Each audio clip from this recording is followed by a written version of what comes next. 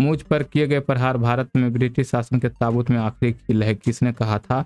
तो मुझ पर किए गए प्रहार भारत सरकार में ब्रिटिश शासन के ताबूत में आखिरी किल का नारा जो है, लाला लाजपत राय के द्वारा दिया गया था। उन्होंने भारतीय स्वतंत्रता आंदोलन में महत्वपूर्ण भूमिका निभाई और पंजाब केसरी के नाम से जाना गया।